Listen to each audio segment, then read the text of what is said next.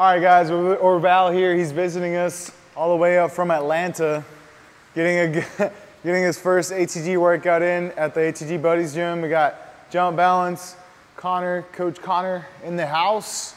So we're taking him through a little bit of the lower body for knees today. Tomorrow we're gonna do posterior chain. Then we're gonna finish out with full upper body workout. So first thing we do here is sled, right? We're going backwards. This version is gonna be five minutes First two minutes, just getting these over the toes. Second two minutes, going a little bit faster. Then that last minute, we're gonna go as hard as possible. All right, the goal here is to get as much blood flow into the patellar tendon as possible so we can start getting to some deeper and deeper knee bend. Also training through the feet. All right, so is this, so how long you been training ATG, man? Four months now. About four months? About four months. Yeah. You can, you can hold it. It's been about four months now. When I first started, I was 250 pounds. I would say this sled and my nutrition was the main thing that got me down to now. I think I'm like 190 or 185. Yeah. Wow. Sweet, last 20 seconds, let's go. Fast as you can. Let's see that. Let's go. Go, go, go. Push it, push it, push it, push it, push it. Last minute, the whole time working. Let's go. Back around. Go, go, go, go, go. There we go. All you got. All out, all out sled, all out. Yep, yep. Good, turn around. You got you got at least two more. Let's go. Come on. Go, go, go. Sprint. Backward sprint. Let's go. Good. All out. Other one. Other way. One more trip. Let's go, Orvalle. Let's go. It's all about that warm up. So this is a seated tib bar machine. Uh, this is actually a collab between Athletic Truth Group and Sorinex, yeah. So Ben actually made it. Conner's probably the strongest, strongest tibs in like the world. I would say I'm pretty good because in jumping, it's really necessary to be able to decelerate right before a jump. Okay. So a lot of people are strong with explosive, like like calf raises, or the flexion part of it, where the, you can isolate legs, train them both at the same time, but you're also going to be able to address the weaker leg because it's isolated. You're lifting weight on both feet separately. Okay. What I usually like to do for this is high reps because it's one of those exercises that's working through like a shorter range of motion. So you kind of really need to build up that pain-free blood flow and circulation in the shins and in the ankles. So I don't know what it says in the standards app, but like 15 to 20 reps. 20% for 20 reps. 20% for 20 reps. But we're not going to push it on this one. Right? Mm -hmm. Yeah, this is just a warm up too, yeah. just starting out. Yeah.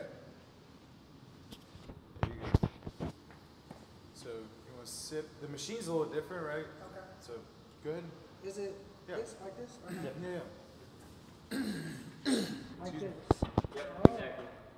Okay. And similar to like a tib is really just yeah, lift up your toes. That? Yep. Mm -hmm. Hold at the top for like one, two seconds. You almost want to move back, scoot back a little bit. That'll allow for more plantar flexion, yeah. like more stretch at the bottom. Mm -hmm. Yeah, so that lets you stretch it fully, like Conner said. Ooh. Yeah, so big stretch in there. Do you feel pain when you do these? A little bit of pain? Okay, so maybe go, yeah, lower the weight. You can even just do the, just do the bar, just to get blood flow in there. We don't want to aggravate it anymore. Still a little bit, right? Yeah.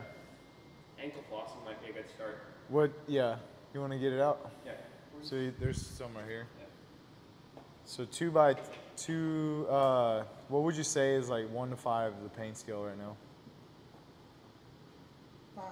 A five? Oh, it's that bad? Oh, damn. Okay. Yeah, we. Yeah, let's start with ankle flossing instead. Yeah, that's crazy. Okay. so flossing the ankles, it's good that you're kind of already set up barefoot. Oh, one to five? Oh, I thought you said uh, one to five is, is about four.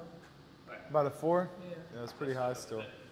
Are you familiar with ankle flossing? No, I haven't done that So ankle flossing, you're gonna, similar to knee flossing, you're gonna wrap it around okay. your ankle. Start like at the kind of base of the ankle. Wrap it around and build up. So it's the shin where you feel the pain, right? Yes. So yeah, so we're gonna just slightly go up the ankle, up and down. And when you release it, all the blood is going to. Yeah, restricting blood flow, and then That's what I need. Mm-hmm. Yeah, these are pretty cheap too, like ten dollar I dollar floss That's bands. gonna- That's how it's gonna heal. Yep. similar process to what we do for the knee. Okay. Like if you're in knee floss, you're gonna restrict blood flow right in the area that is banded up. Yeah. And then I'll kind of demo for you how I would do this.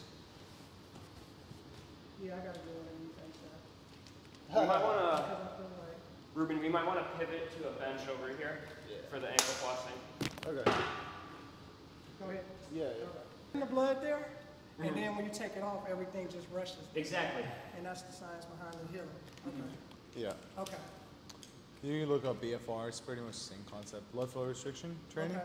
Um, but yeah, in ATG, I guess the principle of it is building from the ground up, right? So you look at bodybuilders, a lot of them, they get like huge up here. They're built like an anvil because they're huge up here and then tiny little legs. So it's like Correct. going this way. Right. If you want to be athletic, you want to do the exact opposite of that. You want to have most of your strength in the bottom of your feet because this is the one that touches the most with the ground, right? Most contact. And if you want to stay, if you want to build longevity through athleticism, then you especially want to build lower leg strength because that's the shock absorber whenever you land, you come or jump. So tib raises are so important because of that. And then uh, calf raises are going to be really important because of that. So let's get you doing these tib raises first, and then we'll go through the calves. Connor's one of the strongest people I know in tib raises because he's also one of the, and, and that's all correlates to him being one of the highest jumpers I know too, because he's just so good at absorbing the shock of the the ground hitting you know his his body again that he's able to jump more often because it doesn't do as much damage to the tendons. And what I'd like to add as well to that is it doesn't take a lot of effort just to start. When I was doing ATG from the beginning, when we didn't have loaded options like a tib bar, I was just doing the wall version. And even when I started, I had to scale it back quite a bit just because mainly I didn't have the ankle mobility. So working the ankle mobility and the strength as a whole is going to help you improve that tib strength and avoid issues and injuries. But even just this alone, if this feels better, it's a great way to start improving your ankle and shin strength, strengthening the front and back. And even when I was just doing that demo with the floss bands myself, there's a ton of blood flow just going into my lower leg right here when you take it off, and it feels like almost like rejuvenating for the leg. All right, sweet. So you good? Is it pain? You're looking at me like, what the hell? All right, so I would say we get into some calf raises too after that. Should we try the wall version leg. of the tib raise first? Yeah, it's a good idea. Well, I mean, it's probably gonna be painful. But Yeah, I actually tried that before I got here. yeah, it was pain. Yeah. Yeah. What I think is a tib bar might be easier because although Yeah, the tib bar, because it was stretching it, I feel like it was easier. What I'll oh, say about the tib bar versus a seated tib machine too is although the tib bar doesn't isolate legs, that, that also might help because you might not have to put as much stress on the quote like injured leg. So Yeah. even though you might not be working it as much, it's still good for strengthening. Yeah. Are we using this one right here? Yeah, let's use a five. Yeah. I mean, even just that by itself might be a good start. Oh yeah. Yeah. Like at least to see how it feels. Yeah. I actually feel like the seated one was working pretty good. Working well? Oh, when I was, when I was doing that? Yeah. You can put your other foot up. We can do a We solo can probably tip take the floss bands off too. You don't Oh, want the yeah, that's restriction for too long. Okay. Let's do that. Bring it up.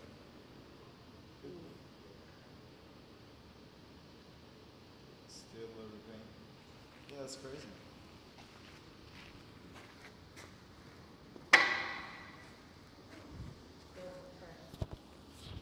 When you did backwards sled, did that hurt at all? Uh, I felt it. Like discomfort? That's why I was, um, Or like you're working the area? it was, it wasn't that bad. I was actually surprised, because I thought, I was like, oh shit, I ain't gonna be able to do it, but it didn't, this hurts. Yeah. This hurts. That didn't really like hurt, but I felt it. Yeah. All right. Let's finish up there, and then we can try our calf raises. Okay. Take this off.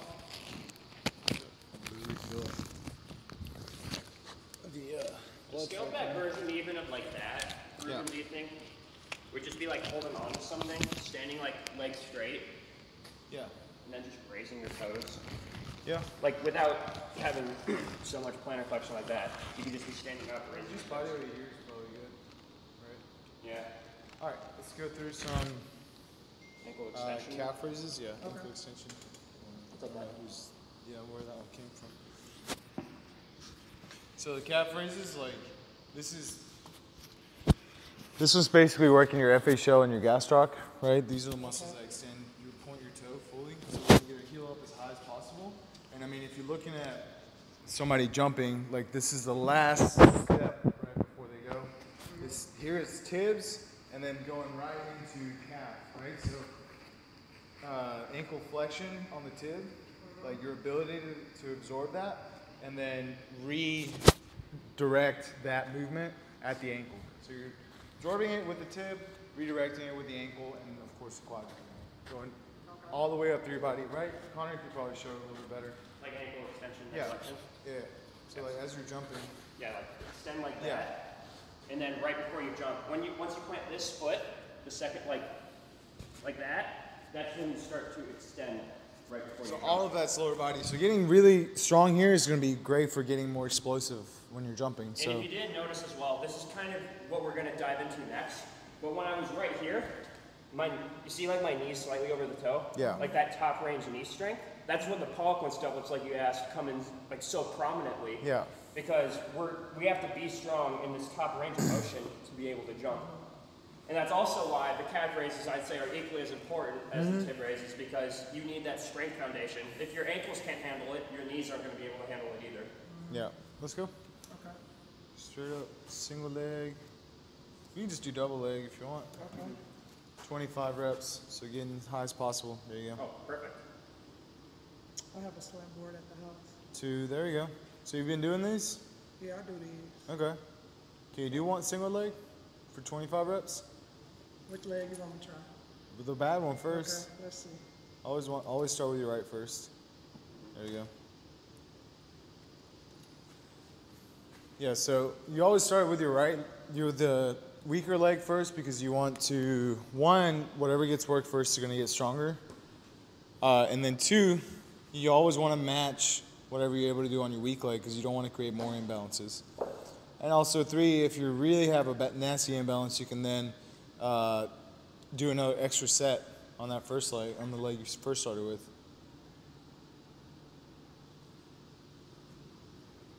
And then over time, the imbalance will catch up just from me doing an extra set right after all the other ones. How many was that? I was 10. You want 25? Yeah. You gotta be able to do 25. You okay? Okay, just let me know if you feel pain in your tibia, because otherwise,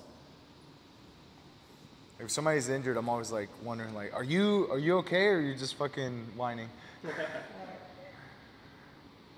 hard to tell. And a great way to scale it, which I'm noticing, I don't know if your ankle keeps slipping, but the less of a slant you have on your ankle, the easier it'll become too. Yeah. Which is a great way to scale it back.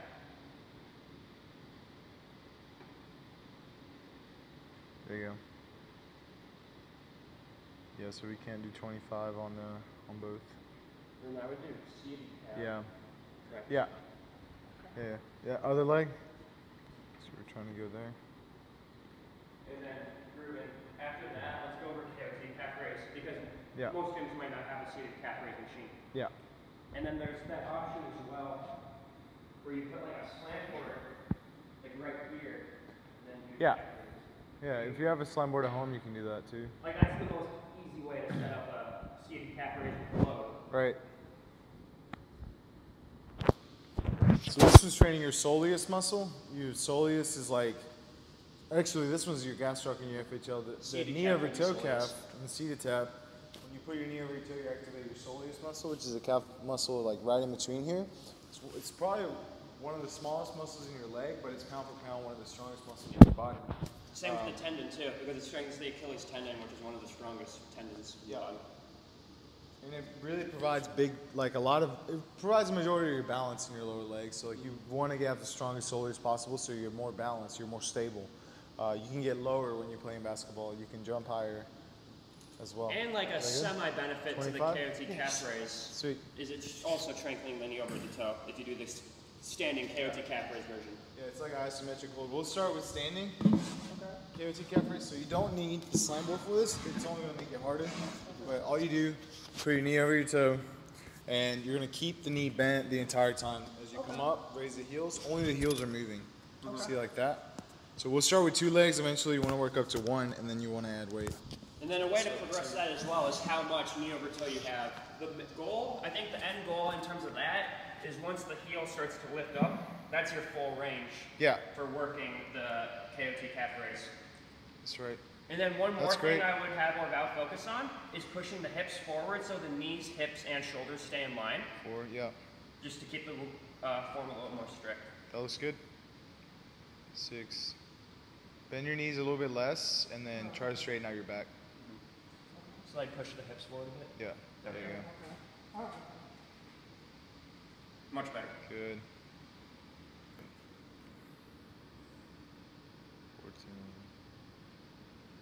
15. Yeah, so this is the way of doing it if you don't have a seated calf raise machine at your gym. Preferably, you, won't, you can do it on those. Do you have a seated calf raise machine at your gym? Dude, the. it's wild how most gyms don't. Yeah, we'll do that too. But yeah, I agree. It's like most gyms don't have a seated tib raise, which Yeah. I mean that's understandable. But I would expect some gyms to have a seated calf raise machine. Yeah. It's really not understandable, Conner. It's wild. All right. You're getting some really good footage, by the way. Yeah. So you can go here for like if you don't if you want to just replicate this at home, Okay. you can go here. So to replicate a seated calf raise machine at home, you can just set up a slant board, bring your knee over your toe, put the weight on top, and then you just do raises from there. The closer Right. you have the slant board to the bench or to your feet too, the more of a uh, Knee bend. like a stretch you're gonna get. Yeah, more of a knee bend. More stretch going from here. So all the way up, back down. You can add a lot of weight. You can even do single leg on this. So just up. And then if you have dumbbells, I, down. I personally like using dumbbells for that option. Yeah. You can show it with dumbbells there. The reason I like dumbbells is because like that's a good way to single leg train. Bring your knees forward more, so scoot forward. Yeah, and then you can bring your feet back. No, no, scoot forward and bring your feet back. Yeah, there you go. Perfect. There you go. So now you can put it on top. Yeah, that's not that's not a lot of weight. It's pretty And you should feel pretty flat, conservative. like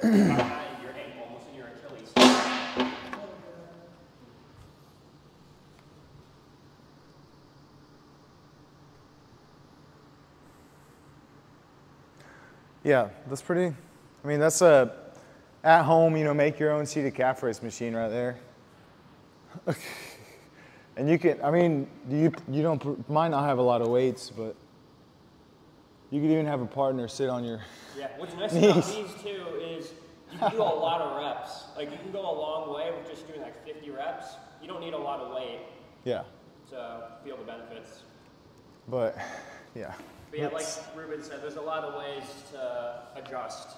All right, that's good. We're, we're just showing you this one. Let's go back to tib raises. So you can just do them right there with body weight since you're hurt. 25. I don't think I don't think it's gonna hurt. Scoot back. Yeah. So like at the very scoot forward a little bit. Oh. Yeah, at the very least you can do those without too much pain. So come up, flex. Yep. Back down. Does that hurt rather? Still a little bit? A little bit. No, Yeah. this is fine. Yeah. As long as the yeah improvement's always a good sign. If it's feeling better, that's good. So I would say like if you having pain, like this is what I was telling you to do at home. You probably didn't listen to me, but but it's like hey, you can do these body weight. You can do both legs, oh. yeah, because just to get blood flow there.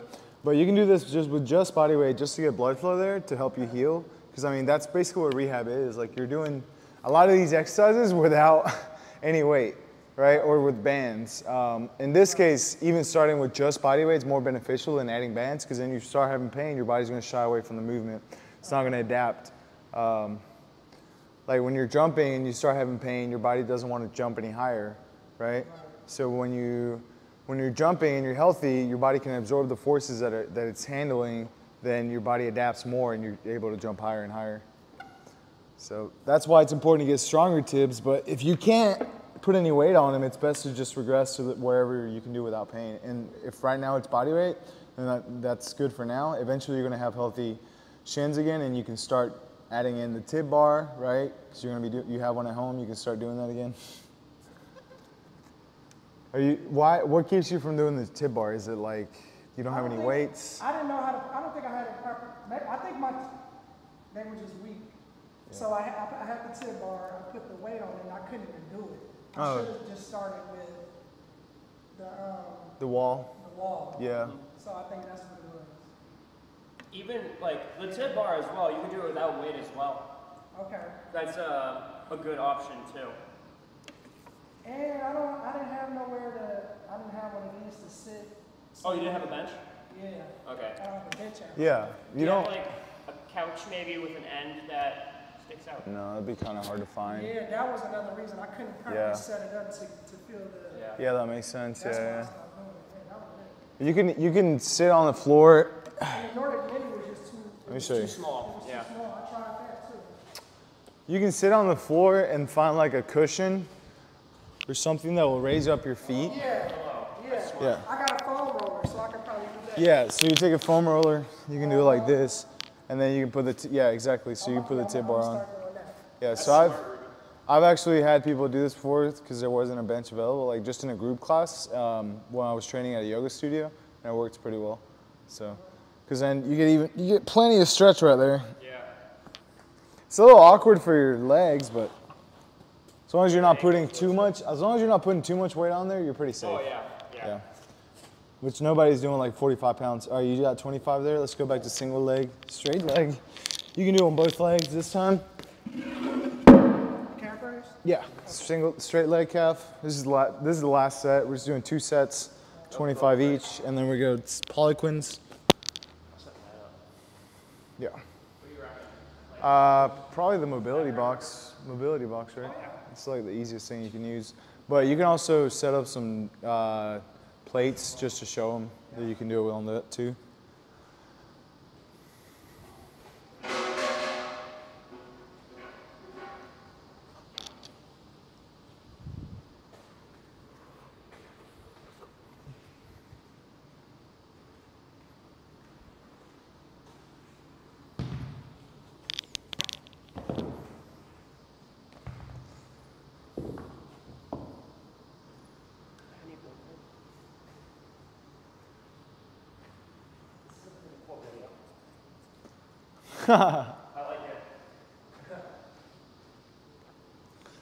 Yeah, so as high as you can. Yeah, dude. I mean, you're getting plenty of like extension. I was gonna say that's impressive. The Yeah. of extension he's gonna get, or he's getting, is really good.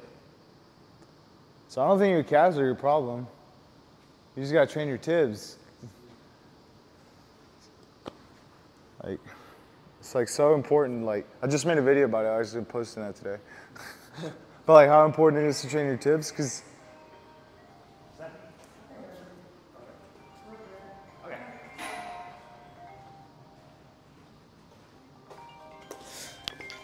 yeah, but it's literally so important because you gotta like, huh?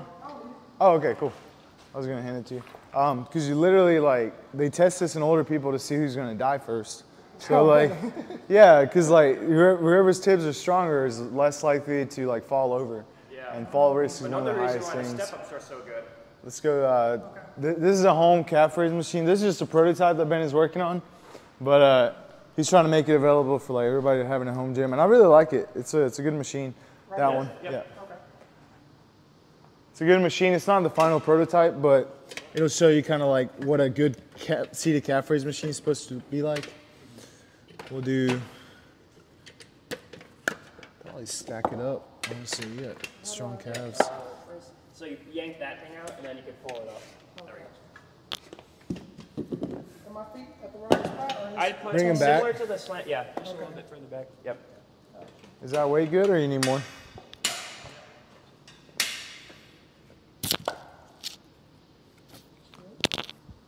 It's good. More now. go ahead. You got big ass calves, man. Look, start to see me. Last one. Last one, yeah.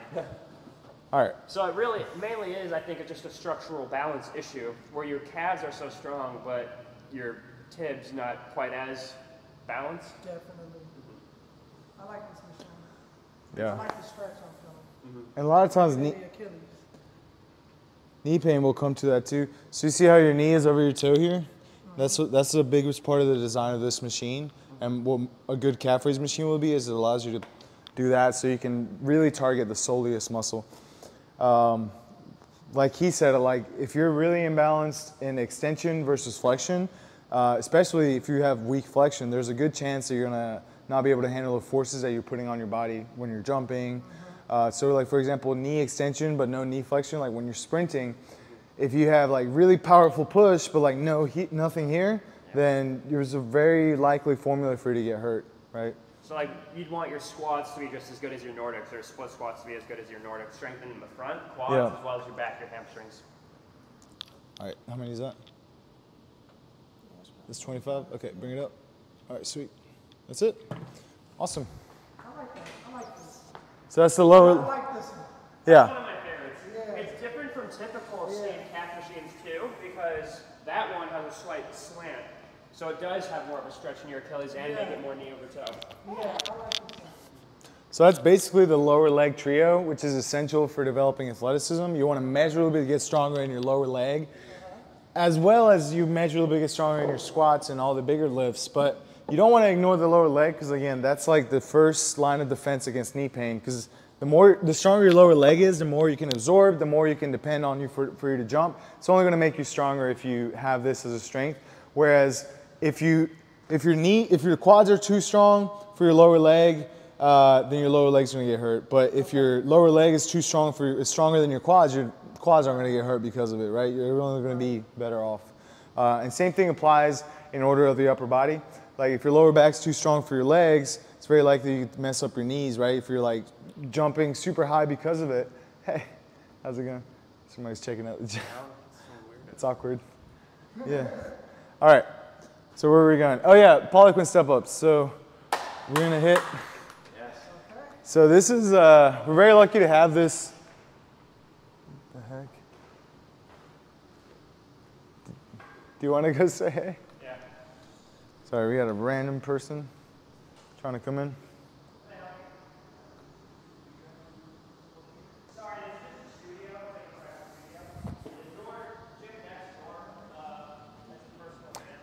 All right, so we're very lucky to have this. This is called a mobility box. Uh, this is actually not even on the market yet, but they made it so you can scale like the height of everything, right? Oh, okay, so Uh, coming over here. Not yet. We're gonna come over here, but I was just gonna show you. This is how you can set it up at your gym if you don't have one of these, or like a step-up box. Most gyms will have a step-up box, but you can also do like it's a little ratchet, but it works. Uh, so for the Poliquin step-ups, you want the foot slightly turned out about 15 degrees to the whatever side uh, you're working. So we're gonna start on the right side, Okay. and so about 15 degrees out, you'll put your foot here on the heel. You want to keep your. I don't want to. I don't want to be rude. so. So you, okay. Yeah, so you keep your foot here. You're gonna control the descent on the way down. Bring your toes up, and then only bend the knee. The hip stays completely straight. Only bend the knee, touch to the bottom for a second, and then come back up like that. So you're, if you look at this motion from the side, it's basically the same motion that you use when you're jumping. Conner's got one of the best Poliquin step-ups ever. He can do, like, show him real quick. Yeah. So I'm like pretty good at certain strengths. So I have a lot of strength in short range, but also like the outer knee range as well. So like at higher heights, mm-hmm. it's e- for me it's easier to do something like this at like higher heights because I practice it all the time Okay. and I have good short range knee extension. And you see he's keeping his back completely straight here, which is like super, it looks easy. He's making it look easy, but it's super hard to do. Mm-hmm. Yeah. But yeah, like this is something you build up to through building it like short range knee, like six inches, or like even like a lot of people start below six inches as well. They'll start at either flat ground with just the heel elevation or a three inch elevation, mm-hmm. and then like work on load as well. But through jumping for years, this is like a skill I've been able to develop Right. because of like consistently working on it, not just from jumping alone, but working on my Poliquin step ups. Okay. Mm-hmm. Yeah, so you can Okay, facing this way? Or turn it this way? you turn it that way. I want to see what you can do on Okay. Six inches before we elevate more. Now you now don't put it Other like way. that. The other foot. Oh, yeah, we're starting on the right. So slightly out this way. Yeah. Fully right there, right? Mm-hmm. Okay. All right, and just Yeah, that's perfect. There you go. Yeah, your form looks great, man. That's really good. Yeah, so you so you can scale this by adding weight or by uh, increasing the height, right? The I got some water.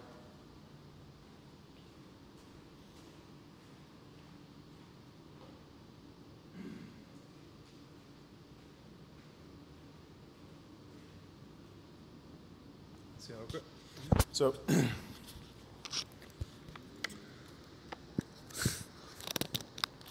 So one of the factors that ATG is based on is tension training over strength training, right? The only thing that a lot of people think that the only thing that matters is how much weight is on the bar, but the reality is t- tension, as opposed to just weight, is a lot more uh, in the equation than just the amount of load that you're, you're pu- pushing through, right? So tension, or the amount of tension, equals, uh, I think it's tempo, right? Like how fast you're going up and down, the amount of weight on the bar, which is an, is an important factor, and then the amount of time that you're spending under tension. So, or the amount of time that you're training, right? So like how long have you been put, compounding? Yeah, how frequent are you training? How, how much tension is gonna go into this? So if you're doing like 500 reps or something, it's a lot more tension overall than, uh, and then also, the, oh yeah, I messed up. Yeah, let me explain that equation again. I always try to picture it in my head, and it's very difficult. other side. Huh? Yeah, other side. Yeah, so here we're manipulating. Um, how to explain this? Okay. We can cut this out too. Yeah, of course. So what are you trying to uh, just explain? so I'm trying to explain why you can. So a lot.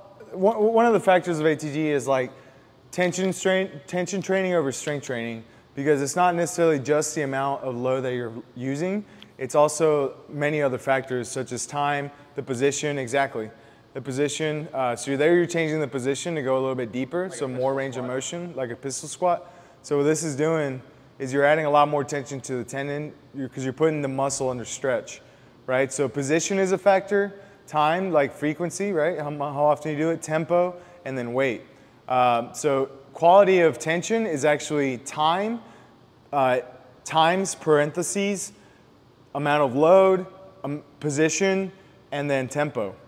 So those three factors times time, or how long, how, how often you do something, or how long you've been doing it for, is what equals the uh, the effect on the muscle. Does that make sense? Because these are all t- um, tempo, the amount of load, and position are what equals tension. So tension times time equals the effect on the muscle. so right, so you can create uh, a big effect on the muscle without even using any weight by scaling this with just up in the height. Does that make sense? As opposed to just adding more weight. So here we could technically add like, uh, what's something good? You could technically add a good bit of weight here just to make this more pressure on the, more effect on the muscle, right? It makes you stronger. Or you, what you can do is you can raise the amount of elevation because then you're changing the position to add more strain, And like you said, you could change the tempo, like how slow the eccentric is on the way down. right? That's going to give you a lot, a lot more, uh, more strain. So like for example, I can do that with like 135 on my back, but I don't think I can do this for 12 inches because it's so much harder. You're putting a lot more tension on the muscle there than it would be with just 135 pounds. You see, I can't even get up out of that, but Conner can do it. Yeah. And then if you want to test that theory, Conner can do that with I can 100 do and that with like 300 pounds almost. yeah. Like that, oh shit, that's insane. close. Yeah. Yeah, bro. Be careful. Yeah. You see, Oh, I see it. yeah, you see what I mean? There's a lot more tension there. Yeah. So it's like taking the principles from calisthenics and merging them with also like strength training. That's pretty good. That is impressive. So yeah. you can do about eight eight inches. It looks like. There you go. But see how you have to bring your hip down? Okay, you don't want. So, Okay. well, that's a That's the- that's a different The exercise. Yeah. difference between the pistol squat and like the oh. step up is the step up is more knee dominant. The pistol squat, you're going to engage a lot more of the glutes Yeah. and like posterior. So you've done 25 there each. Now we're gonna go into split squats. So we're going sled, lower leg, step up, split squat, right? These are like the different levels of knee ability. It's actually sled, step up, split squat, squat, stretch, reverse Nordic. But we, we took you through lower leg as well because it's very important for uh, your, the sport that you want to do. So elevating, you probably, just looking at you, you're probably to do six inches to hit. Generally, where we have people start at as well, like six inch elevation. Yeah. So let's start on the right leg, uh, and we'll start with assistance first, just to see where it's at. That's what I really like about the mobility box. Yeah. Is it makes it a lot more accessible to have assistance as well. It's very easy to scale too. You can Oh yeah, you got it. on the way down. Yeah, bro. That's great. Easy. coverage. So we'll do five each side. For, um, can you do it on the way up without it? No. Without it's like, Yeah, that's fine. As long as there's no pain. All the way down, up. You okay? Yeah. Was there any weirdness there? I feel it. A safe way to scale it too is even if I know I can get into it. if you want to assist it on the way up, you just do a little push. You don't have to 100% rely on it on the way up. Yeah. That's another way to progress this. I see what you mean. Yeah, I'm gonna show you all the different ways of using the split squat. So this first one, we're just getting normal reps, and then we'll go into pulses, five second hold at the bottom, and then uh, five seconds up, hold, up. Seconds down. Yeah, That one's hard. yeah. All right, we'll swap sides. Yeah, I can hear your knee cracking. You can hear it, yeah. Yeah. Yeah, so I would recommend elevating it from now on at least six inches. Especially since most gyms and areas you won't have access to something like this to where you can use assistance so easily. Mobility looks great though. Mm-hmm. Yeah, you have to stretch. It's just building up strength now, which is where those step ups are going to come in handy when you start being able to add load or strengthening with a sled or a squat. Yeah, mobility's great. So he has the hip flexor length and strength, mm-hmm. like reverse squats as well as split squats. Also strengthening the knees and the quads. Yeah. One more, and then I'll show you the pulses. Oh yeah, bro. You got it. We just gotta get you strong there. Yeah, I'm telling you, once you get flat ground Watch strong out. there, Strong where? Strong in this exercise, Okay. you'll be a freak on the basketball court. You okay? A Little weirdness. All right, so this time I want you to hold on to the sticks the whole time because we're just doing bottom quarter pulses. So we're going up slightly and then back down. So not bouncing because we're not ready for that yet, but like up, controlled on the way down and then back up, okay? So these pulses are more for remodeling the knee, but also getting lots of blood flow to the patellar tendon. So it helps you heal a lot. And then you're also getting quite a quad pump because you're working the quad from a stretch position over and over again. You're gonna do 20 reps each side. Okay. All right, Right leg. yeah. Yeah, like I said, hold on to this the whole time. Use assistance to kind of help you push in and out of it. All the way down. Yep. And up just a little bit and then slow on the way down. Two. Excellent, there we go. Just a second, literally just pulsing. We'll do, yeah, yeah, up and down. Yeah, just enough to like make a pause there before going back up.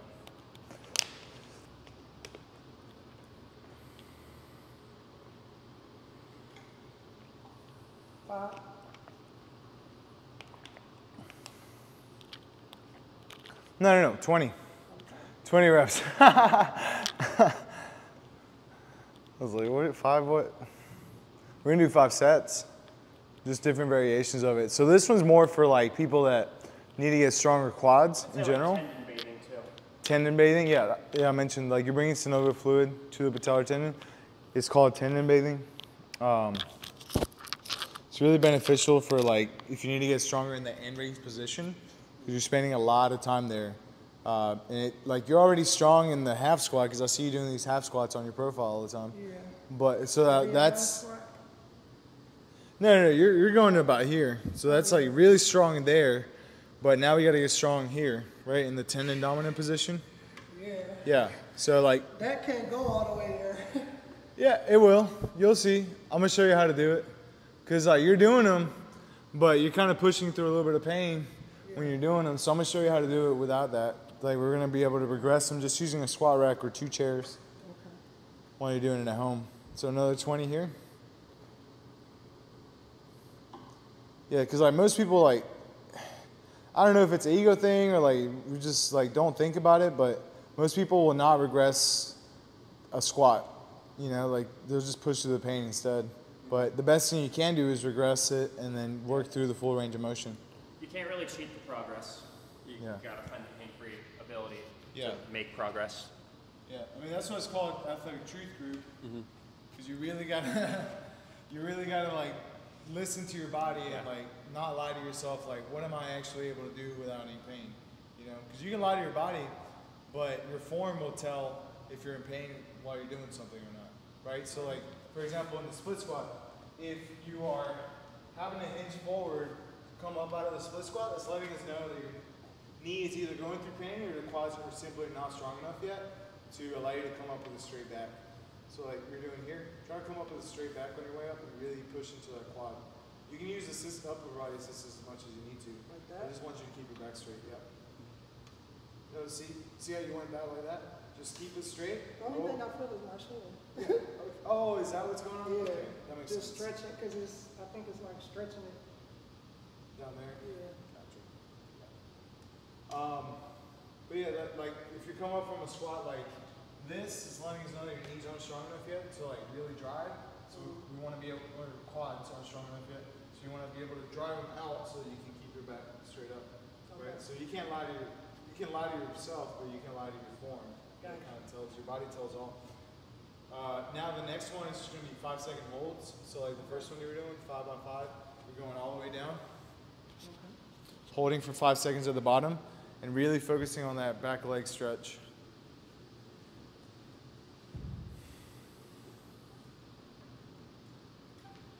Yeah, one, two, three, four, five, up.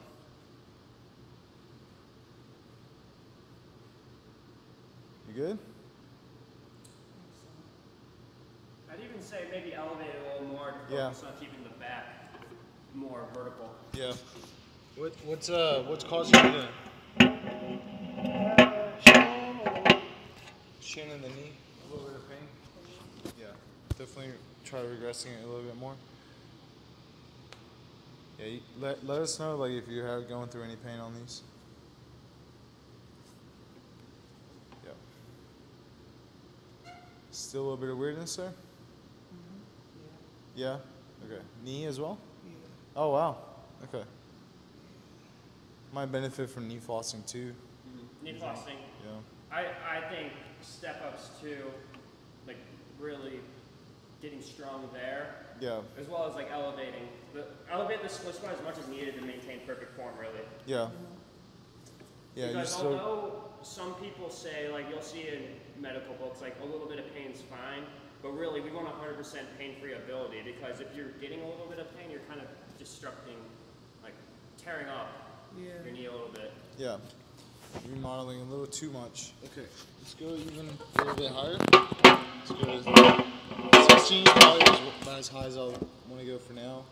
And then we can check out some step ups. Yeah, like doing step ups with floss bands or that might be helpful. That's a good idea. We might just need to focus on that the rest of the time. Yep. Alright, so this is just like a way of doing it for lengthening out the hip flexor. Focus on that. Yep, keep it as straight as you can. and then five seconds on the way up. One, chest up, two, three, four, five. So yeah, so on your way up, instead of kind of like hinging back, keep your chest up the entire time. Okay. So slow on the way down. Five seconds on the way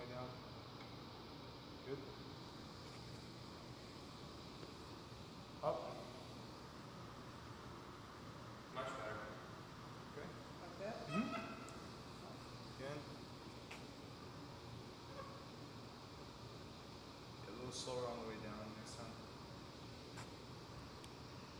Up. This is the patient way of like rebuilding. Yep. Yeah, man, so you didn't tell me your knee was bad, bad. You didn't know. The whole leg. the oh. whole leg, the yeah. whole right leg was bad.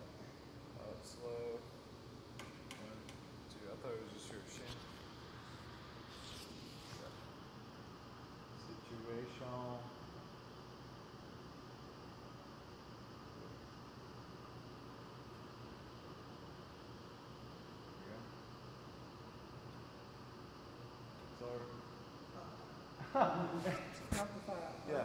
One, two, three, four, five. Okay. Good.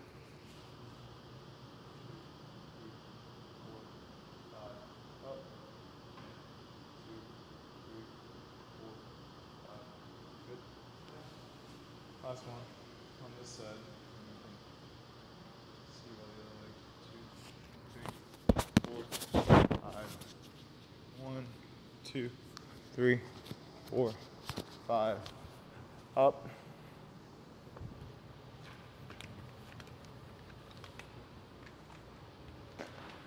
All right. Huh? Oh, I said good work. Oh yeah, we'll try the other leg. Um, so flossing with for knees is a little bit different. So Okay. come over here real quick. Okay. Sweet. So you go underneath the leg, like right underneath the patella. Oh yeah, you can see your surgery scar.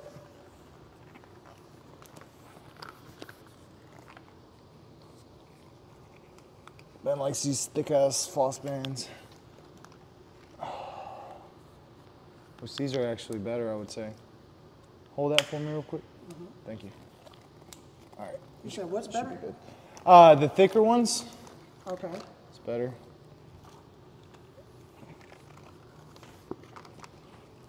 Just like right underneath the tendon, Okay. and then one right above.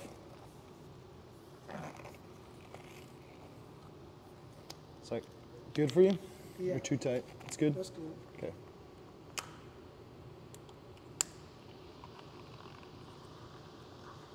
Yeah, so I would, dude, if I were you, I would start every workout. I mean, you're already doing it with sled.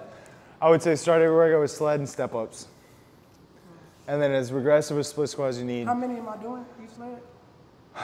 Wh- For what? Step ups? Step ups 25. Okay. Um, Is that just like And you might need- for everything? no, Okay.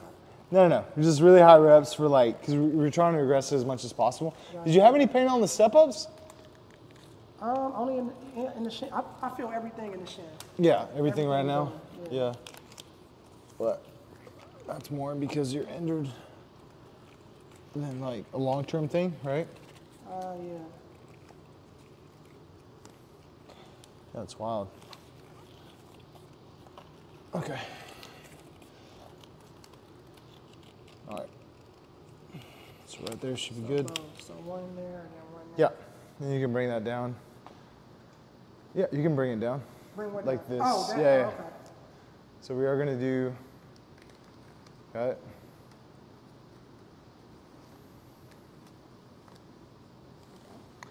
Yeah, I was just saying that way, and then we're going here. Oh, okay.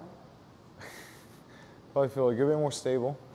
Back to the split squats, see if it still hurts doing this. Do you feel it in your shin when you do split squats too? Uh-huh. Like at the bottom? Wow. Man, what do they have you doing in this class? They have kettlebell things. yeah, every everything. Up slow, five seconds on the way up. Chest up. Okay, back down on the way, slow. One, chest up. Three, four, five, all the way down. Four. Okay. Nope, stay. up. Yeah, just really slow, trying to rebuild there. Chest up again. I don't think you're ready for pulses down again. Two, three, four, five. Still any pain there? The pain it is underneath there. Oh, okay, so not in the knee though. Not really. That's good. Yeah. A little bit less. What would you say there? Up. Hmm. Slow. Try to completely cover hamstring over calf here. A little bit more. Crush it, crush it, crush it, crush it. Good. Stay there for a second. All right, we're coming up slow.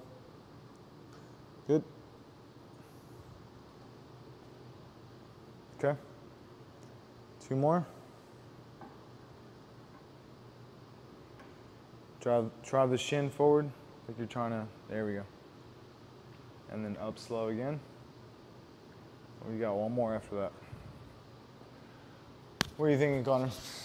I think he's getting good form. I think the scaling and the flossing definitely will help a lot. For it doesn't like limit range of motion, but it's going to help make sure that you're breaking up the scar tissue when you're wearing the floss bands and still working through a range of motion that is comfortable. Elevating the front foot, I think, will be the most important, then using assistance as needed, which we're doing here.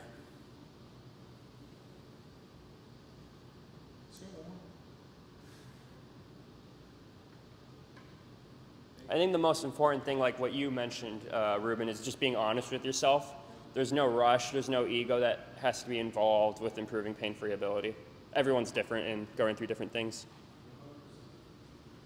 Okay. I think next, um, do you have, have you? So you say you're doing VMO squats, slant board squats. Can I see you kind of what you're doing, and then maybe we can adjust from there? Yeah. With this arm? Yeah. Okay. Yeah. It'll help. It'll help in the lowering phase for sure. What I would say is you don't want the floss bands on for too long, too, though. Yeah. This is the last set we'll do with them.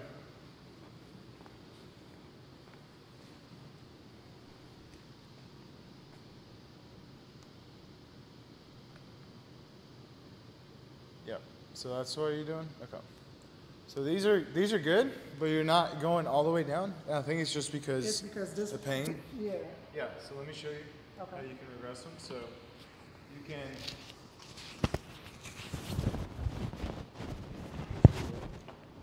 Well, I was thinking actually use a the benches just a little bit more stable.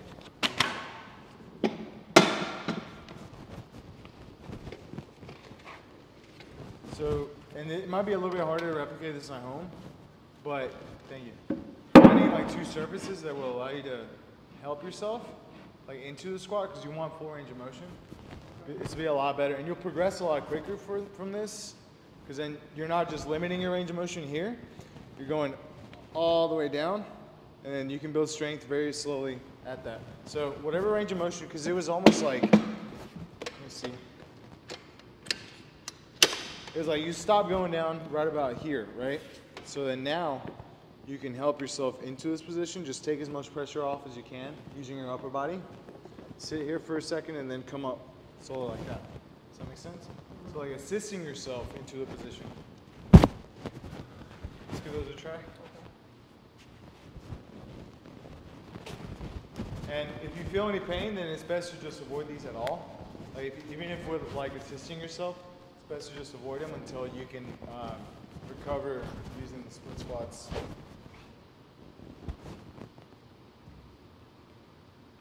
Okay. How was that? Good. Now, do me a favor. Bring your feet forward. Yeah. And now try to sit on your heels, so drive the knees forward on the way down. It's a little bit of a different squat. Yeah. Yeah. Try to sit on your heels. Came with this one. This, Okay. this is the reason why this, this one would do it, but. Yeah. yeah. Okay. So it's the mobility on it? Uh-huh. Yeah.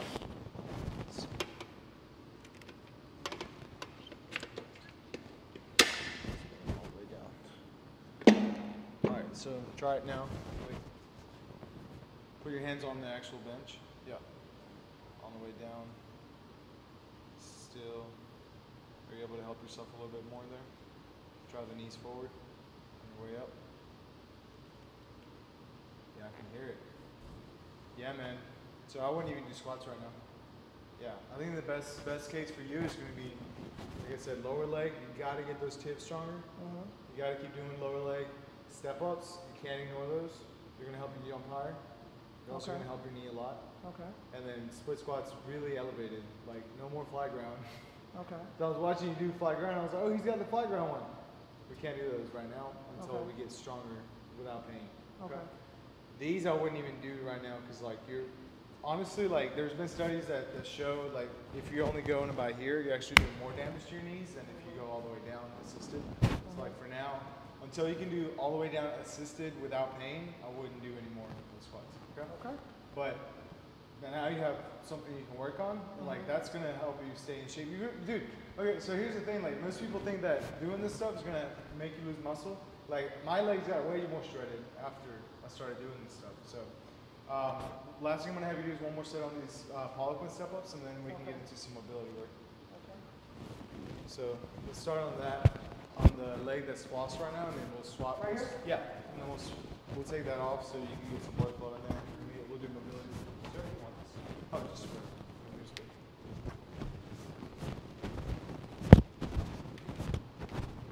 Adding to that, if you have floss bands, I think flossing beforehand will help a lot too.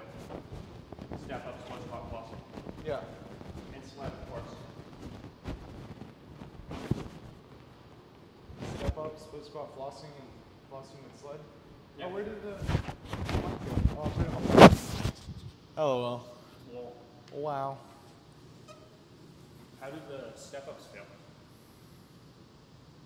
Good. That's a good sign. There is hope. So what do you do for mobility? Because you're very flexible. I stretch a lot. You stretch. Yeah, I mean, I've been stretching my whole life because Yeah. of tractor. Like, that makes sense. I stretch. I'm just laying in bed and I'm stretching. Yeah. Yeah, we gotta get those tendons stronger, bro. Oh yeah, but there's there- there's definitely like hope because like you have Step ups are good. you have the will and desire to to uh, to improve. I know these ex dude. I know these exercises seem so simple, but they are so incredibly helpful. Like even though and effective, even though they're so simple, like you just that's the thing is like you'll only get better if you actually do them. Consistency. yeah. It won't happen overnight, but like even like the course of a week or a month, people see significant results. That's Yeah. true. That's how it was when I started doing the uh, split squat. Exactly. Like I got better like within a month. I was like, oh shit, okay. Yeah, that's awesome. Yeah, but the split squat's sexy. Like I, everybody wants to do split squat. Or like a Nordic or a The KOT. Nordic KOT squats. The the most effective stuff is the simplest, like Yeah, the like Poliquin step, step ups. sled. Yeah. yeah. Everybody everybody's doing sled, but I bet you the majority of people that see ATG on like content online, they're not doing uh, tib raises. They're not doing Calf, raises. Calf raises, yeah. They're not doing step ups, but that's the stuff that I mean, like that's the accessory stuff. It's not the meat, but it's what makes it. Yeah, what makes all the accessories possible. I mean, it's what makes all the Easier. the main entrees possible. Like easier too. Yeah. So like for example, like astrogast squats without a strong lower leg is a recipe for disaster. Mm-hmm. And astrogast squats without step ups, w- without at least working up to a certain amount of step ups, is probably a bad idea Yeah, like too. Nordics without elephant walks or like hamstring curls. yeah. Yeah. Nordic, yeah, exactly. Nordics without hamstring curls is also a bad idea. Mm-hmm. So, we're working all these knee extension. Now we're going to go into some knee flexion uh, with the hamstring curl machine over there. I'll show you some protocols you can do over there from uh, Charles Poliquin. And we can go into Nordics if you're down for that. Yeah, I'll show you how to regress in Nordics. So 25 Well, each side. the floss band off too soon. Yeah, we'll do that as soon as he's done here. Yeah. Yeah. I forgot about that. All right, that's it. So let's take that floss band off.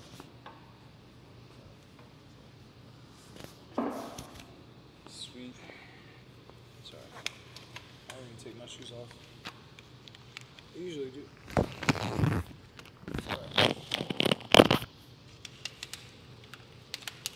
Do you ever train your um, lower back? Never. Never. Orvalle, you're finna learn a lot tomorrow. That's why I'm here.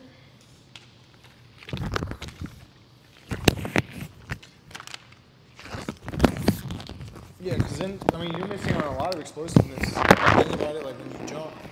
That's half the equation, right? The lower back and posterior chain. Like your anterior chain is what we're working on today. And a little bit of posterior with the Nordics and the hamstring curls, but this back extension, like that's what you're doing when you're jumping up. That's your. That's what that's your rocket power. Like your back So- extension, curl, seated. You'll put on you'll put on a few inches on vertical just from training the lower back.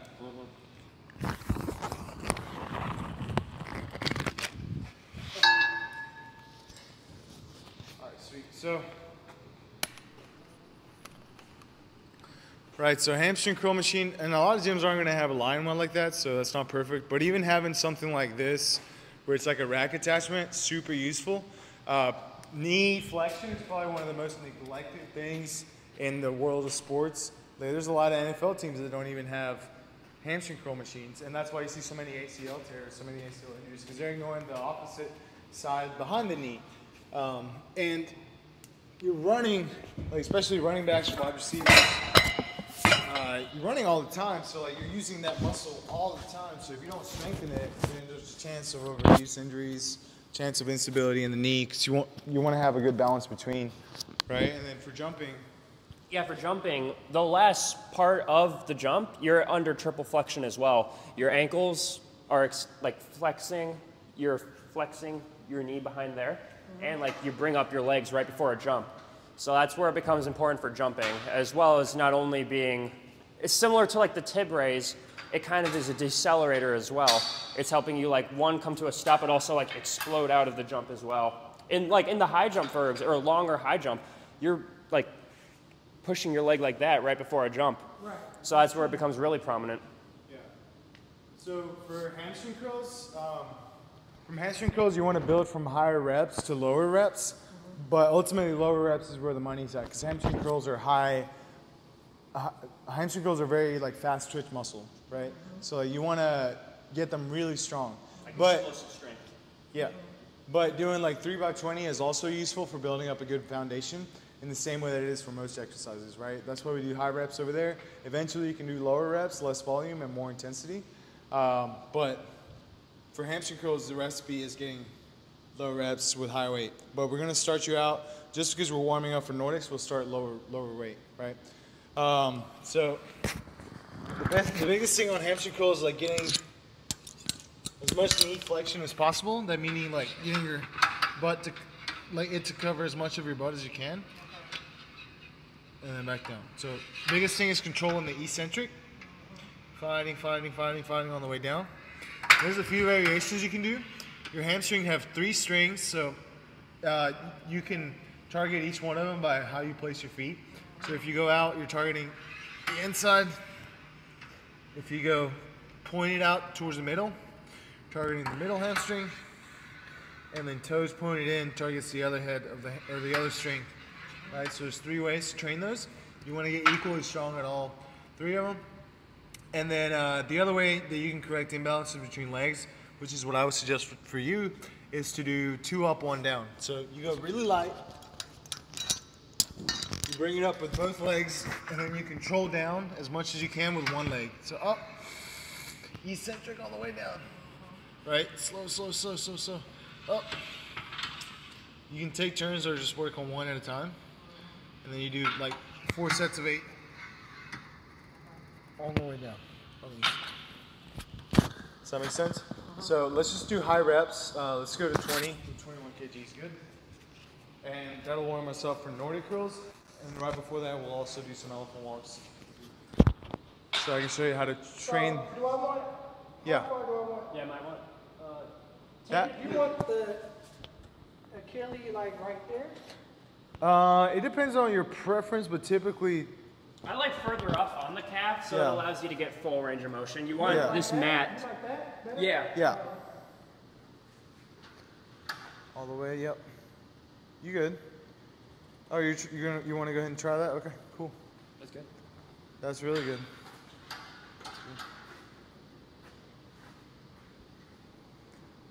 So I was thinking higher reps as in like bring 'em- bring it up with both legs for oh. now. Yeah, yeah. I was just showing you two up, one down, because it's a different variation. It's good um, uh, balances. Yeah. If you have a weaker leg, it's amazing. you can do that one at home. I mean, not at home, but like at the gym. There you go.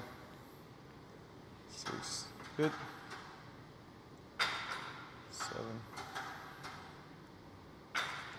eight. Nine. Ten. You got ten more? Yeah, Grant Hill was a great dunker, wasn't he? He was an amazing basketball player, yeah. Overall. Very athletic. Yeah. Is he Hall of Fame? If he's not, he, I think he is. He didn't win no rings. Ah. it's like as good as Scottie Pippen, as good as anybody in his position. He's Yeah. a Hall of Fame caliber player for sure. Yeah, he, he, really, he is like Scottie Pippen level. Yeah. He just was on the Pistons right after they were like really good, like the 90s. That's it. Yeah, that's it on those. Yeah. So now uh, elephant walks, and then we'll get into some Nordics. I think the Allen Boston, like the mobility box. Oh, that's a great idea. Yeah. He might already have the mobility for it, but if not, this is a great way to progress it. Yeah. I think I got the mobility to do it. Yeah, I think you do too. I was just like, like for more people watching, sorry. Like a great way to progress this, or Val, or Vow is probably ready. He has very good flexibility in his hips and hamstrings. But what you can do is elevate your hands higher if you need to, and slowly progress this by lowering of the of the box until Oh, you so get. we doing this? Yeah. Yeah, so I, I figured he had the mobility Yeah. already. And then bend. Okay. Yeah, bend uh, one knee. Oh. Yeah, bend, So, bend like- straight one knee up. Like this. Yeah. The single ladies dance. Like that. There you go. That's just another way to warm up before Nordics, and then also to prepare your hamstrings to handle the tension of Nordics. But if you've been, you've been doing eccentrics before, you can probably do these. And the way we're gonna do it is we're gonna elevate the box so that you're able to do them easier. Like elevating the bench itself? Yeah. Okay.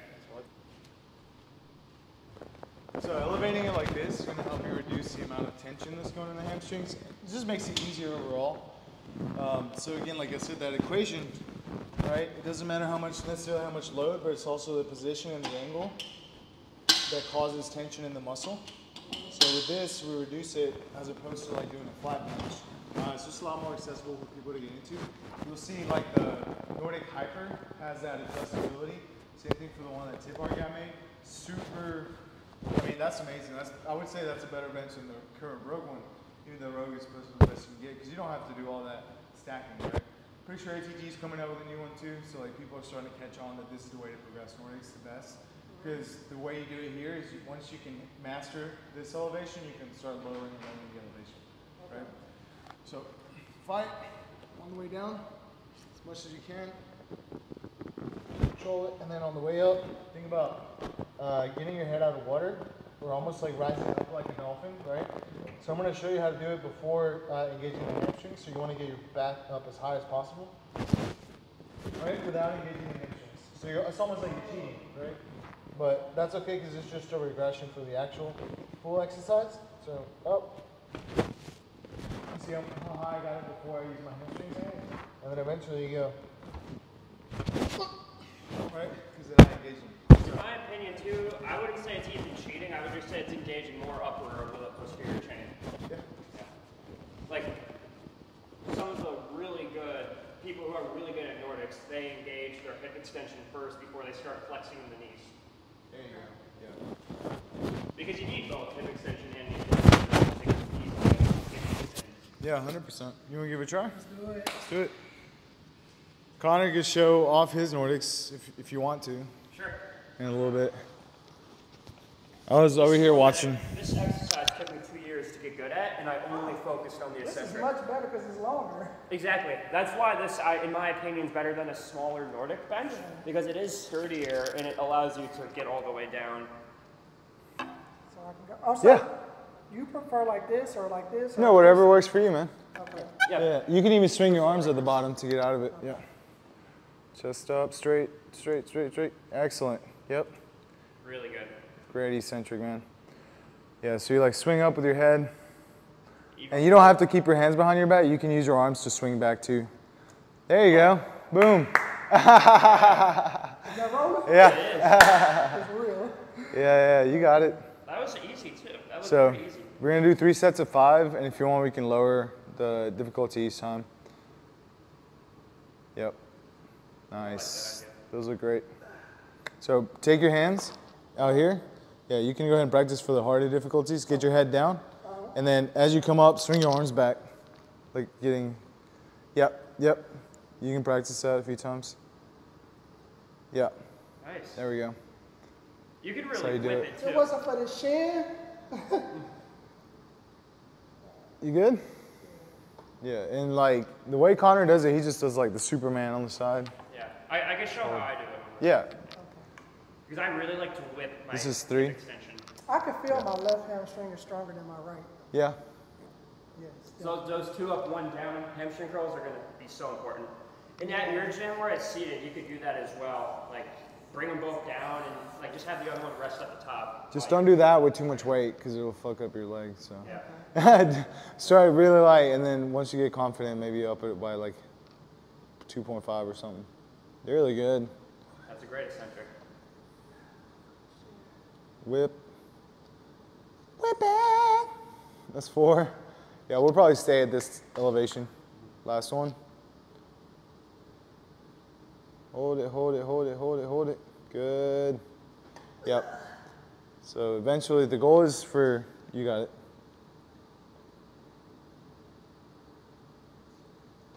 Yeah, so swing your arms back. So bring them forward and then swing them Like back. this? Yeah, yeah. Yeah, there you go. Oh yeah. Yeah. Easier, right? All right, we'll let Conner show off, and then we'll. Um, I just want to show like how I like to If do it wasn't for because I think this, it might I, feel like I could go further down, honestly. Nice. I'm just feeling that. Yeah. So something that I like to utilize a lot. Oh, you want to do it on here? I was gonna. I was gonna like just do flight route. What I like to utilize a lot is that hip extension, like what Ruben was talking about. And swinging through the top. Your eccentric's really good. That personally is what I focus on the most. That's how I was able to get to a flat ground Nordic. I first started with the elevation as well, literally just going as slowly as I could. Uh-huh. And then within like a year, after a year or two, then I started introducing the concentric because I didn't have a Nordic bench before. So I wasn't, I didn't even have the choice to do a concentric Nordic. Okay. But like slowly controlling the way down. Nice. And then this is the part. oops. This is the part where I really like like getting as much back extension Yeah. extension as I can and then catching myself with my hamstrings. I like to think of it as like catching myself with my hamstrings. I'm going up as much as I can, and then catching myself with my hamstrings. So No warm up, no nothing. Just But the most important thing, really, you can become a freak athlete just doing the eccentrics. I know. Literally that alone. This is Yeah. once I get this, The Like, goal. once you can get to a point where, I'm gonna jump over your head. yeah, once you can get to a point where Yeah, flat, you got it. There we go. flat ground eccentric is easy, or like control really well, you're pretty close to it. And I think if you have the right setup, it's it worked really well for you. Like, and a way to keep yourself really honest with it too is making sure your hip doesn't hinge back. I, I see people That's why that's why personally I like what you did, where you keep your hands on the back like this. It kind of forces like you you know if you're starting to hinge at the hip or not. Control the way down here, and then extend up, like keeping the hands on the back. Yeah, and the goal, the goal, which Ben can do this, is getting your thighs to hit before your belly button does. Yeah, which is on like the a way down. Nordic, which I don't want to attempt. Yeah, no, you're good. All right, one more set. Up here. I reckon we can lower this one too. I think you can. You do think it. so? For five? Yeah. Okay. I think if you focus on that I hip. don't know. It's just the shin. Let's try this then. I think in the future, if you focus on that hip extension though, like really swinging up before engaging your knees or your knee flexors, it, it'd feel a lot easier.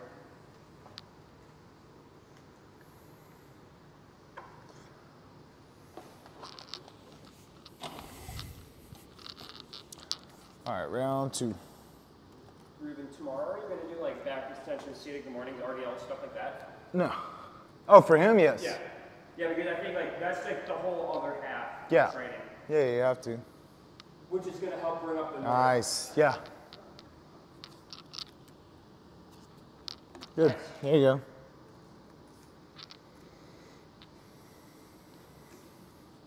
Very nice. Very nice.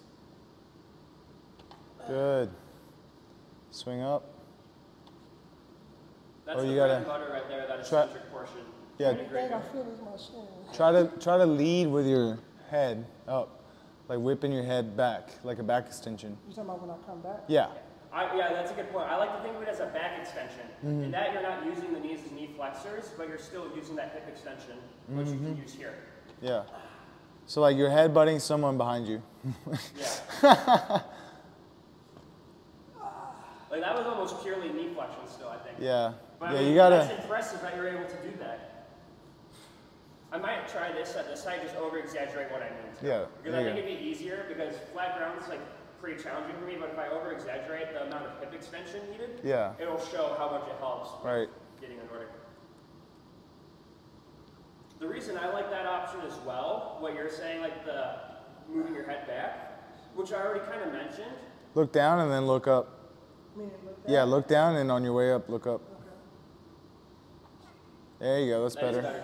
Um, the hamstring curls, That's it. I think, That's it. That was five. Hamstring curls already are great for isolating the hamstrings. Mm-hmm. This is, I think, more uh, beneficial for full posterior chain Yeah. ability. Hundred percent. And you could still make it hamstring dominant by how you position your uh, hips. Yeah. torso. So I'll show you what I was talking about, which I think you probably would be naturally good at since you're actually like you're good at the hip flexor raises. You're good like shooting like that. Is that's kind of how I like to think of it when I Um, I'm gonna just start here. Like I'm gonna do this, and I'm gonna engage my knees after. Like like I didn't even engage my knees at all. I pretty much just extended my hips. I think that's something that if you focus on, it, you might not feel it as much in your hamstrings, but it's going to help you once you get lower down as well in the Nordic. I'm just kidding. No, oh. we- you can rest a little bit longer, and then we, we just got one more of these, and then we're just gonna show you our hammer. Uh, stretching wise, how's your pigeon? I don't think I ever did that. You never done pigeon? Okay, you might you probably need it. and then Uh, butterfly, it's for your groin and your um, your piriformis, outer glute. Yeah.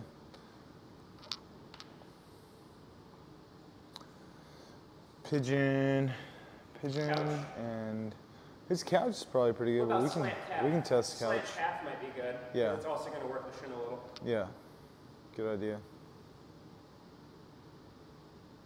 Nice. Oh yeah, bro, you be doing Nordics in no time. Especially because you, you used to be former track, so had to push a little bit on that one. It's okay.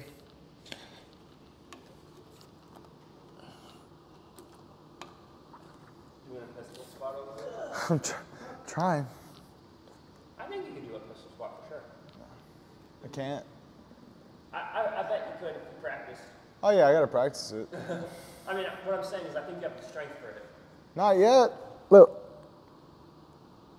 I can't. How are you? Because I mean, I'm talking about an ass to grass one. I w- I wouldn't want to do just a half. Yeah. You could probably do a half one. Which is still impressive. That's good or bad. Nice. There you go. Last one. This and those split squats are going to be game changing. He finna be sore tomorrow. Oh yeah. And after posterior chain, Yeah, it's- happy we're only training like three times a week Yeah. or three times. This week. Yeah. Nice. Sweet. Good job, man. All right, that's it. I think it was That was- smart that you chose ATG Pro Five. Uh, ribbon because it covers Yeah. like everything within Yeah. the next three days. That's the goal. Um, so here, car hammer raises. Put your elbows through, all the way through. Grab this. You basically just bring. I just did these, so I'm super sore. we go 90 degrees and then up like that. It's training to that top range. Yeah. And, it- Knee to the elbow. Mm-hmm. and you can progress it by going up and then down like that, and then even more by straight legs. Yeah. Pretty much. Yeah, you look like you got, did somebody drop a kettlebell on your leg? That was rough. Yeah. After this, Ruben, is it just mobility? And, uh, do I hold and then I, I like holding on to the straps. Right here? Yeah.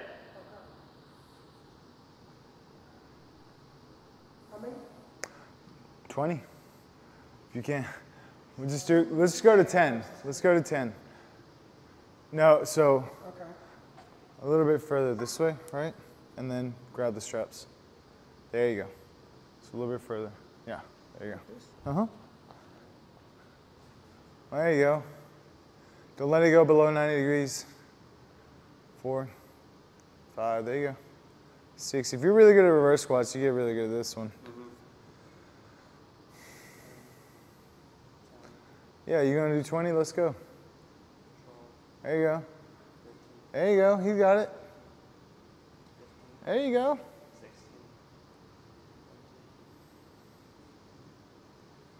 Last one. Oh yeah, you got that easy. Oh, you you gonna keep going? Let's see what he got. 24. That's good. That's strong. Really good. Yeah. Correlates directly to that one. Good stuff, brother. All right. Uh, then pigeon. So this is the pigeon stretch. I personally like this. Yeah, it's more. I would say it's more abs. Yeah. Yeah. So you want to show him pigeon? Yeah, pigeon. You want me to show it? Yeah. Okay. Yeah, for the pigeon, I like having my knee like at the edge of the bench here.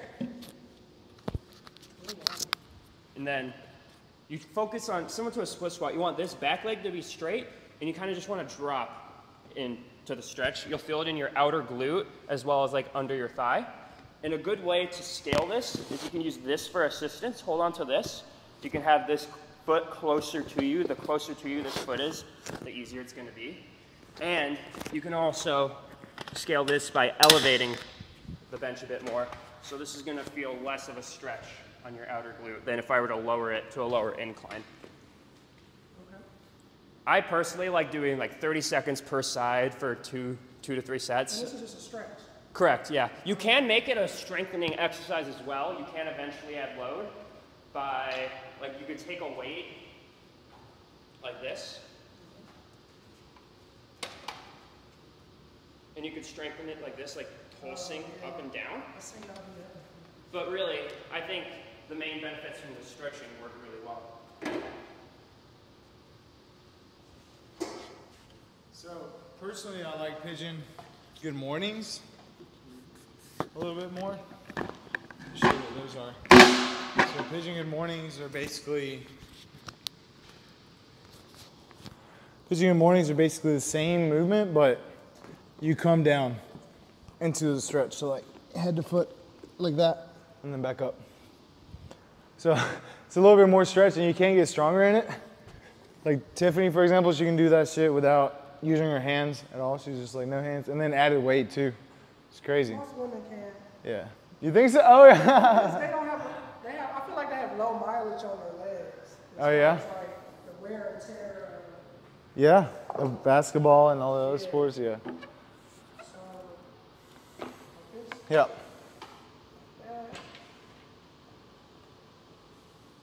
So head down. Yeah. Trying to get your head down into it. You can go a little bit lower. I think I think you could probably start like 15 degrees, honestly.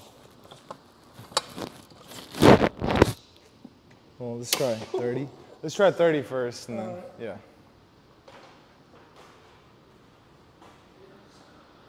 Yeah.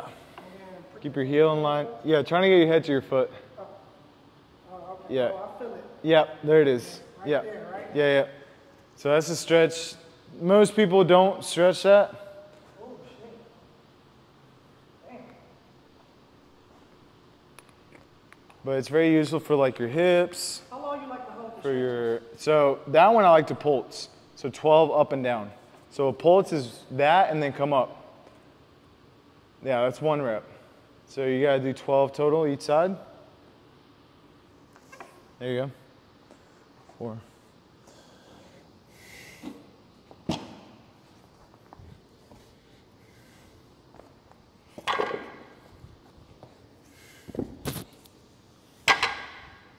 Is the form look good on bar hammer?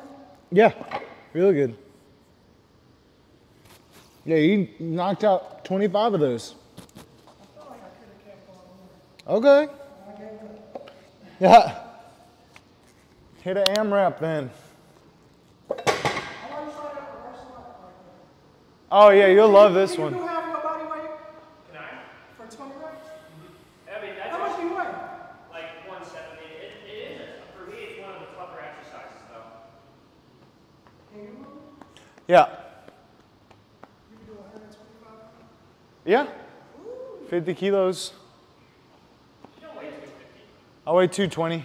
Damn. You're stronger than me. No. Just in that. For 20 reps?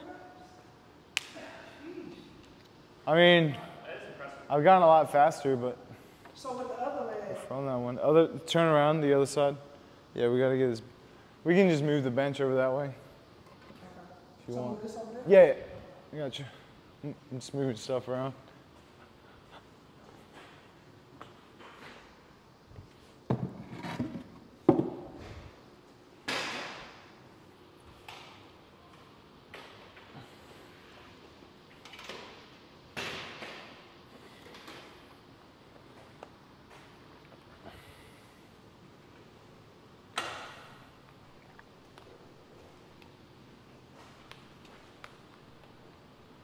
Is this right? Yeah. You gotta bring your foot forward more a little bit. Like that? Mm-hmm. Uh, more. Oh, like that? Yeah. And scoot back a little bit with your other foot. Scoot this way back? Yeah, yeah. There you go. That's good. Oh, maybe this leg is just stronger. Uh, more flexible, yeah. For sure. It's your left leg, your right leg Yeah. tight, a little bit less strong. So you work on pigeon. This one, uh, do you ever have lower back pain? Not really. That's good. Yeah, this one, if you're like really tight in this position or this muscle, is called the piriformis. Uh, it can lead to sciatic nerve pain because it's right next to your sciatic nerve.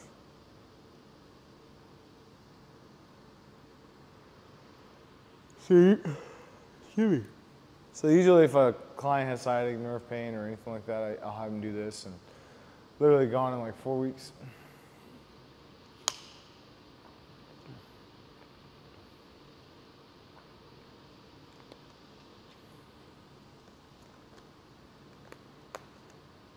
I'm gonna be able to do a full Nordic by April.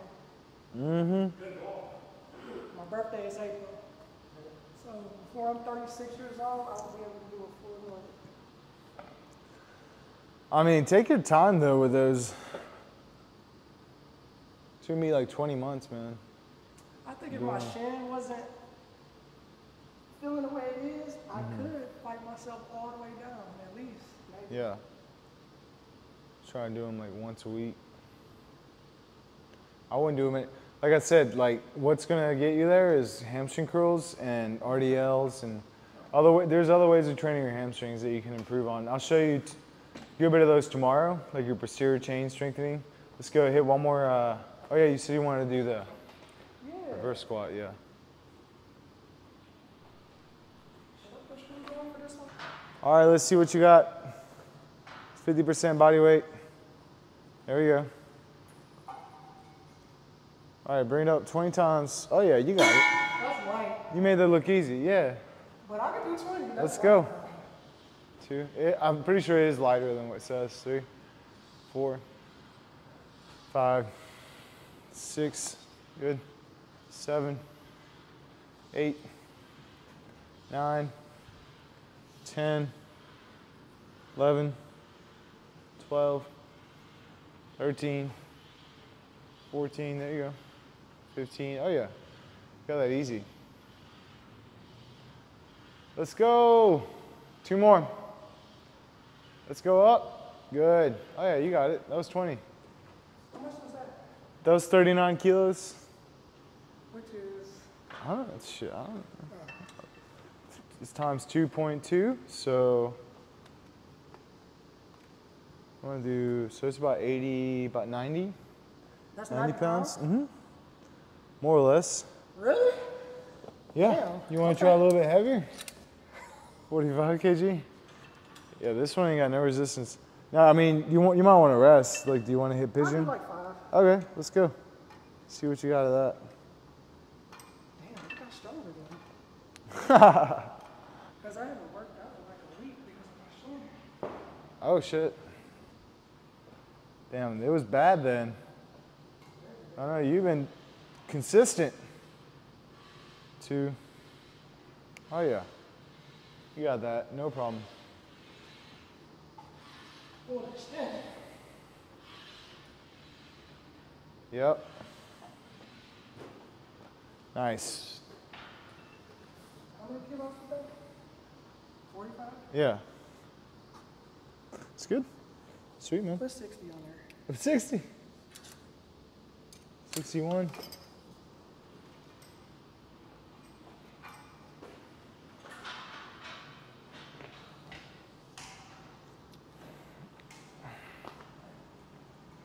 right, let's see what you got. My abs are super sore from the Garhammers. You gotta get your legs higher. Yep, higher. Yeah, see now it's starting to hurt. I mean, that's a lot of weight. Yeah, that's crazy. Yeah, I can't do 60. I can do 55 or 57, I think, but I can't do 60. It's a lot more. You guys want to get food? Woo! Yeah, I'm hungry. I'm Ice running on. E now. Ice cream. You want to do ice cream? Oh, we got to see that. Ah, okay. We can go somewhere else. I'm. No, we can get ice cream. It's up to Do, do they sell anything else? That's just ice cream. That's all they sell? At where Zach Can I get works? a picture with you guys? Yeah, bro, of course. Oh, absolutely.